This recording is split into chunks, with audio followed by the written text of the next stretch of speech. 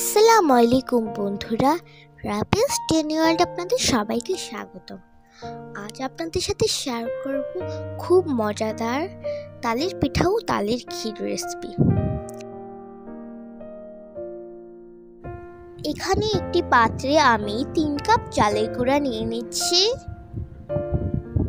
এবং তিন কাপ তালের রস নিয়ে নিচ্ছি।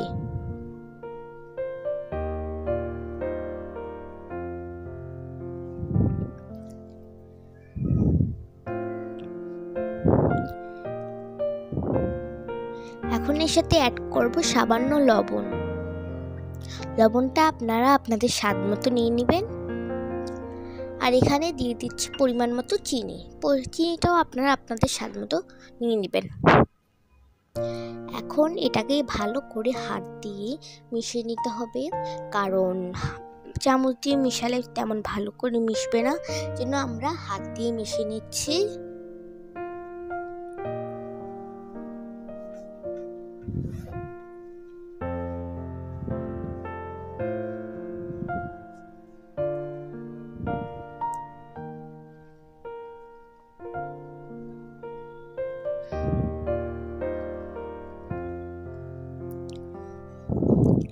এখন আমি এর সাথে আরও কিছু ডালের রস অ্যাড করছি। এখন এটাকে ভালো করে মিশিয়ে নিতে হবে।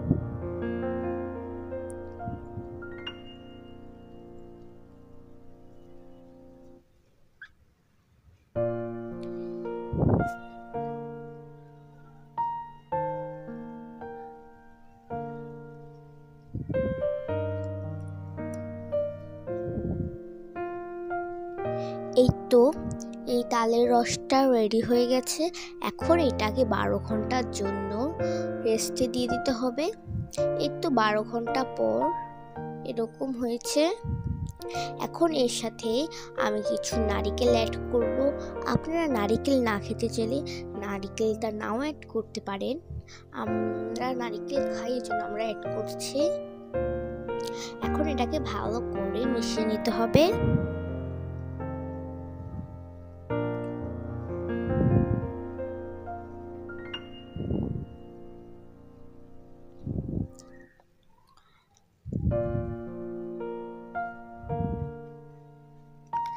এখন একটি বাটিতে তেল ব্রাশ করে নিচ্ছি আমি। এই বাটিটার মধ্যে আমি তালের যেই ডোটা তৈরি করেছি, এটা এটার মধ্যে নিয়ে নিব। এই তো এখন এই তালের ইয়েটা নিয়ে নিচ্ছি।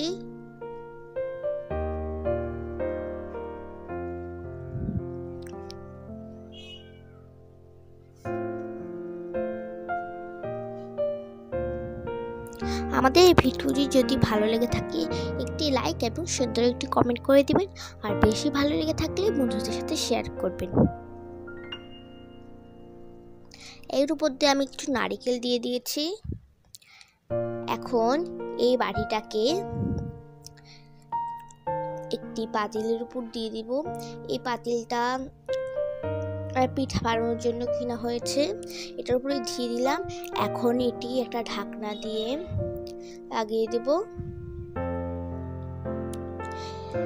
তারপর কিছুক্ষণ পরে ঢাকনাটা খুলবো। খুলে দেখব হয়ে গেছে। এটা কিন্তু বারবার একটু কিছুক্ষণ পর পর একটি কাঠি দিয়ে দেখতে হবে এটা পিঠাটা হয়েছে কি না আমাদের এই পিঠাটা হয়ে গেছে।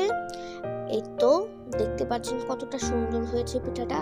আর খুবই নরম হয়েছে সফট এখন আমি আরেকটা বাটিতে তেল ব্রাশ করে নিলাম। এখন এর মধ্যে তালটা, তালের রসটা দিয়ে দিব।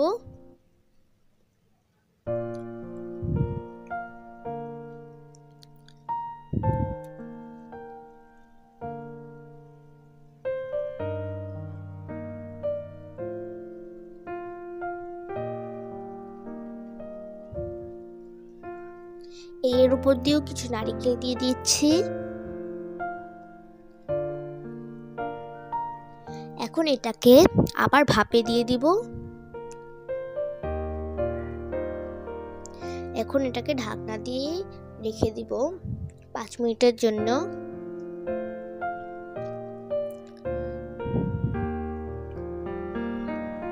পাঁচ মিনিট পর দেখলাম হয়ে গেল। এই তো দেখুন কতটা সুন্দর হয়েছে। খেতেও খুবই মজা হয়েছে। আপনার একবার, অন্তত একবার ট্রাই করবেন। এখানে মানে পিঠাগুলো অনেক সফট হয়েছিল। আর এখন আমি তালের ক্ষীর বানাবো। এখানে আমি একটি প্যান নিয়ে নিলাম। এই প্যানের মধ্যে তালের রস নিয়ে নিচ্ছি। এখন এর সাথে আমি আগের কিছু তালের ক্ষীর মিশিয়ে নিলাম। এখন আমি এর সাথে অ্যাড দুধ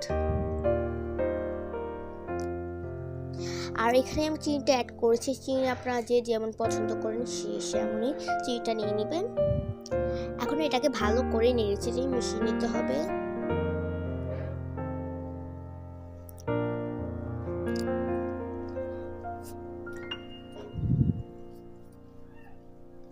তালের ক্ষীরটাও খেতে খুবই মজা হয়েছিল। তালের ক্ষীর দিয়ে রুটি দিয়ে, পাউরুটি দিয়ে অনেক কিছু দিয়ে খাওয়া যায় আর তালের ক্ষীরটা কিন্তু খেতে খুব মজা লাগে। আপনার নিশ্চয়ই তালের রস থাকলে তালের ক্ষীরটা ইয়ে করে নেবেন। আমাদের আলাদাও আমাদের চ্যানেলে তালের ক্ষীরের ভিডিও আছে। আপনারা যদি দেখতে চান তাহলে আমরা ডিসক্রিপশন বক্সে এই লিঙ্ক দিয়ে দিব শর্ট ভিডিও দেখুন দেখুন কতটা সুন্দর হয়েছে। এর তো আমি ভালো করে মিশিয়ে নিয়েছি।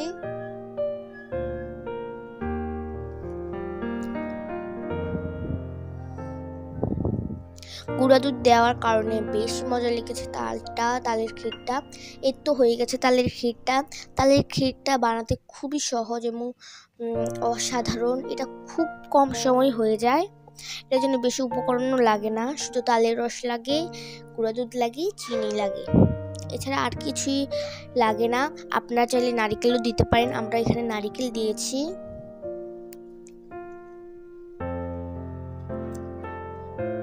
তালের পিঠা এবং তালের ক্ষীর খেতে সত্যি অসাধারণ মজা হয়েছিল। এর উপর দিয়েও আমি কিছু নারিকেল কুচি দিয়ে দিচ্ছি। নারকেল খেতে আমার খুব ভালো লাগে জন্য আমি নারকেল দিয়েছি।